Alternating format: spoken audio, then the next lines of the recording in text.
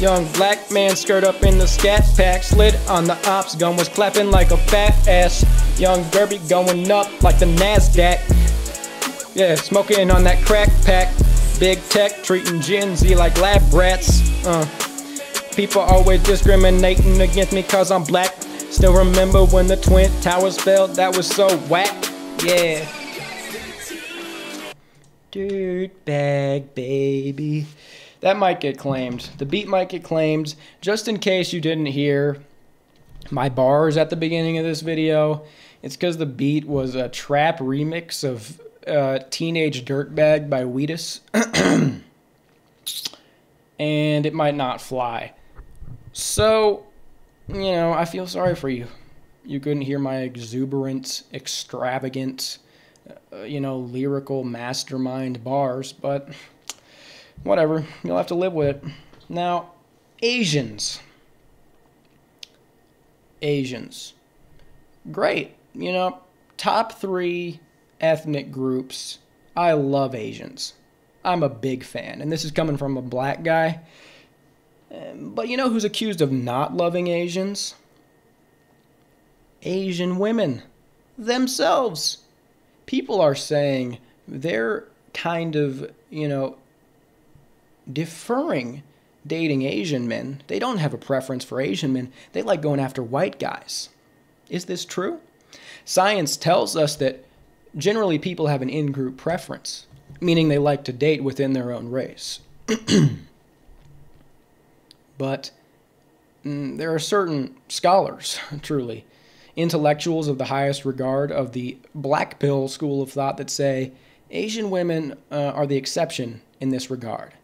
They don't like Asian guys. They're saying they're saying fuck you, Chao Zhang. They're saying bye bye, Hiroo Soto. I'm gonna go shack up with Zachary McDuff. I'm gonna go mess with Jimmy Donaldson. It's like, damn, shoddy. Do your ancestors mean nothing to you? Pretty messed up. Now, but is this true? Now, we do know that white guys definitely like Asian girls a lot of white guys openly openly yearning for some oriental you know? It's really no secret. Asian girls are the most preferred on dating apps. They get the most likes. Above white women above latinas above all of them you know to the degree that dating app data is relevant. But that's something and I mean, it's out in the open now. These guys are flying across the damn go- globe, for goodness sake. Going out, konnichiwa, ladies. Making a fool of themselves. Hey, I wanted the pussy. Cut it out. Cut it out, brother. These white ass crackers going crazy, man. Uh, but is this true? Is this whole, you know, the great Asian rebellion? uh, these white guys definitely have the Asian persuasion, but is the you know is it as stark as the black pillars make us believe? Let's let's investigate. Now I'm going to look at America here because America is the largest country with the largest population that is diverse. So we can look at interracial dynamics and dating. Uh, we get the highest sample size. And we get the highest sample size specifically when we look at census data of marriages because they're able to track marriages. They're all registered in a database, unlike relationships, which are frantic and, you know, quite chaotic nowadays, as you may know. but first, let's go over the demographics of America. So there are 20 million Asians in the USA. 5 million of those are Indian, by the way, which seem to be kind of exempt from this conversation when we talk about Asian girls and white guys. I don't know. I don't really think about Indians. They're just kind of doing their own thing. Um, generally, when we talk about Asia, Asians, uh, we're not really talking about the Middle East or the Indian subcontinent, even though they're technically part of Asia. We're talking about East Asia. We're talking about China, Japan, Korea, Vietnam, the Philippines, etc. So, mm, you know, just wanted to point that out. 20 million Asians, 5 million of them Indian. there are over 200 million white people. So this means that uh, there are like over 10 white guys for every Asian girl. even in the younger age uh, younger age brackets where there would be less white people, more Asians, uh, supposedly. There's over 10 white guys for every Asian girl, so maybe what we're seeing is not necessarily a, a preference for white men, but just, you know, we live in an enlightened society. There's no stigma about interracial dating or interracial marriage. People just fall in love who fall in love with who they fall in love with. And since white guys outnumber Asian girls, maybe that's it. So what to, to, to really glean the truth, we have to compare them to other interracial marriages, or we're going to look at marriages here, but couples in general. We can use it as a, you know, a proxy for couples in general. um, with their demographics in mind. So let me read out the other demographics. Uh, 20 million Asians, as I said. There are 70 million Hispanics and almost 50 million black people. I'm reading these uh, so now we can get into the marriage statistics. So, white male, Asian female interracial marriages are one fourth, a quarter of all interracial marriages. Despite Asian women being only 8% of married women uh, in America, it that's already disproportionately large. Already doesn't make a lot of sense. They that outnumbers white male, black female, black male, white female interracial marriages put together. Not only that, but it outnumbers Asian male, white female, the flip flop. It outnumbers Asian male, white female interracial marriages by four times. Pretty crazy. Pretty wild. You don't see that with any other group. Now, because the number one interracial marriage in America isn't uh, white male, Asian female. It's well, it's generally whites and Hispanics. It's uh, white male, Hispanic female, or Hispanic male, white female. Which, by the way, are equal. They're they're pretty equal. They you know both flip flops so the genders get married equally to each other. Number one and number two, uh, Hispanic. It's a little tricky because they're not technically a major ethnic group that are uniform. They're, they're quite different. I think it's the mestizo. A lot of them are damn near white themselves. so we have to keep that in mind. But yeah, we're not seeing this thing where like Latinos only like white guys. Like, that's not happening. And also, in general, white women are the least likely to get interracially married when you consider their uh, their large demographic. They're the largest demographic core of America. So, what we're seeing here, unfortunately, this is pretty damning evidence. It's real. Now, it might not be as extreme as black pillars would make us believe. You know, they have like these videos if you if you look at these black pill videos, they're like it's just like cherry picking TikToks of Asian girls going, "I love white guys. I hate Asian guys. White man. Ugh." I mean, it's like whatever. I don't see that as actual evidence, but this is. I mean, we have millions of interracial marriages, and we look at it, and it's pretty bad. That's not great, man. I ain't gonna lie. I mean, I thought K-pop. This is pretty recent data. I thought K-pop would do something to help y'all for real, because that's a big thing, and that's. I mean, lots of guys. You know, you K-pop max. You're right in, baby. and also, I mean, it does seem to be real and also in my experience as a i'm not a black man. Let me drop the facade. I'm not a black man. You know i, I took the dna test. I was actually hold, a part of me was holding out for some black or some oriental. Nope. Completely descended from the british isles. Uh, it is what it is man. Just a 100% saxon. Uh, my experience as a very white individual in america is that i have gotten let's say, you know, I've gotten attention from Asian girls that exceeds attention from any other, you know, from Latinas or black girls or any other group, and it rivals or possibly exceeds the attention I've got from white girls. Both from both digitally and in real life. Very limited, by the way. Very limited, okay? I have a very small cock. I'm insecure. Um, don't worry about me. So we have to ask the question why? Uh, look, look, it's it's not like Asian female white male marriages outnumber Asian on Asian. Okay, so it's not that crazy.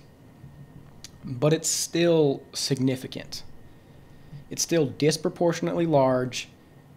It's still pretty brutal, and, and we do have to ask why. I've noticed it. We all see it.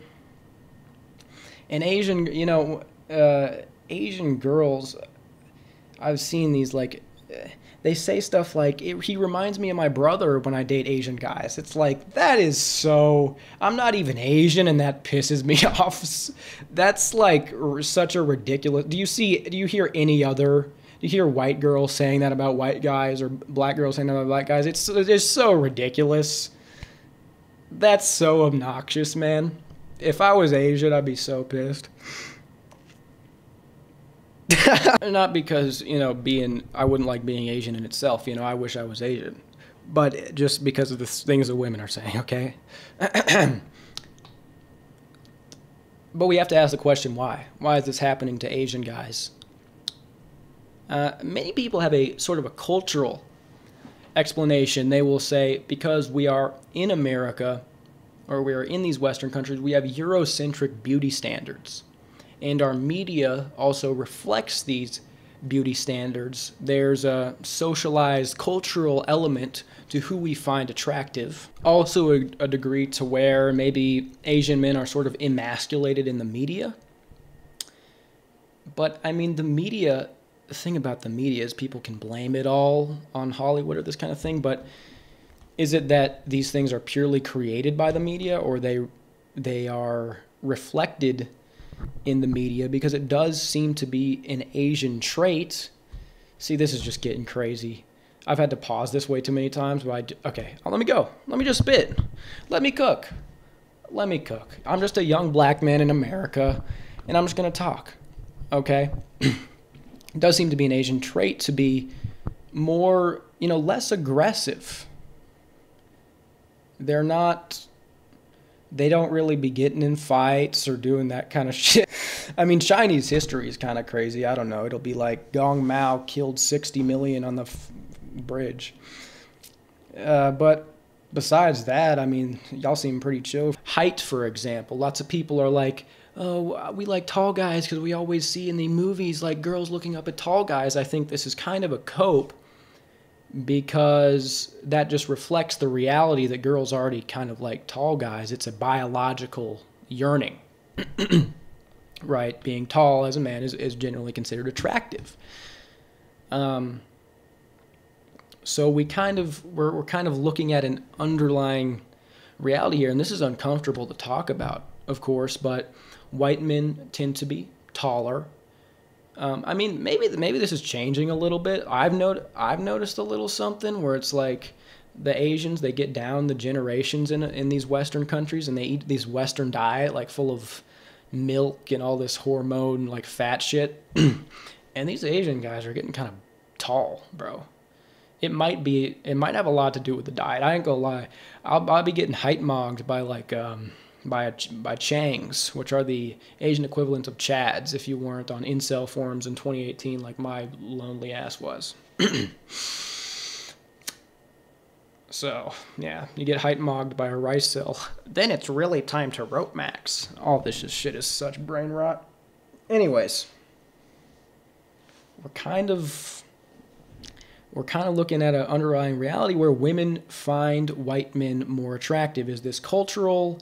Is this biological? It's pretty hard to tease out, but we can kind of say it's maybe a mixture of both. I'm not going to say there's no cultural, um, there's no cultural component to attractiveness, just like I'm not going to say that there's no biological or sort of genetic objective component. If we settle for like an explanation of both, it still is curious why it seems to be Asian women in particular liking white guys.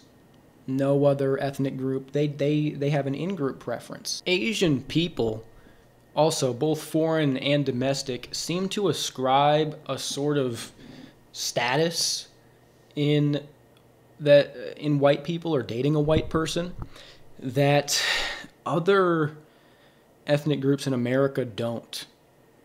You know, like may you know there's like a they just like us. So that would explain why Asian women in particular are going after white guys, but also Asian men, they might not they might not prefer Asian men as much as other races prefer their own men in these western countries.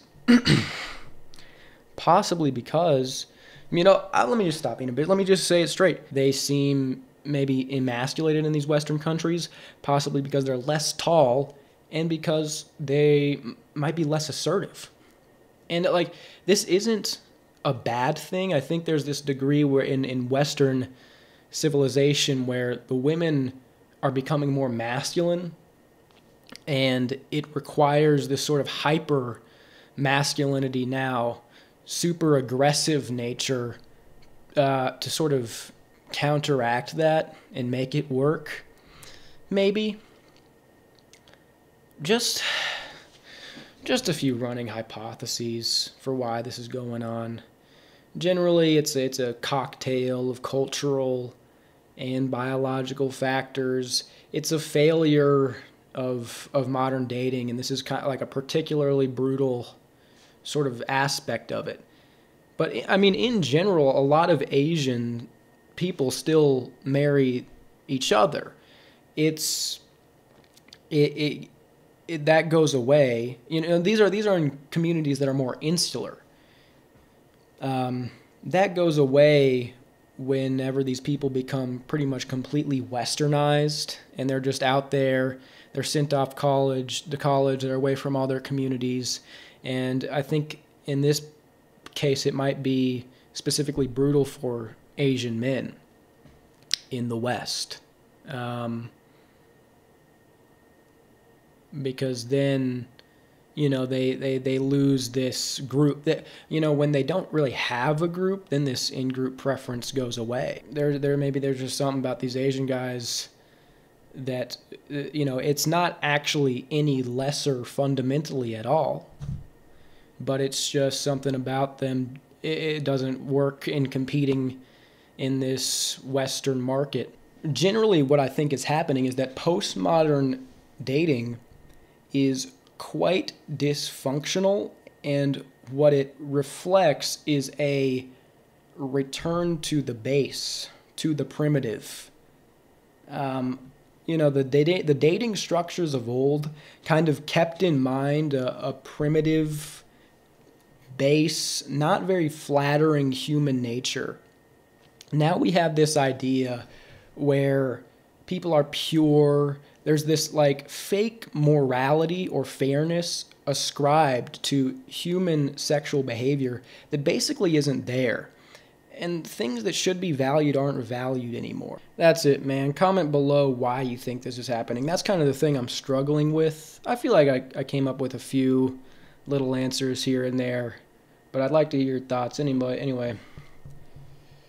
Um, peace out.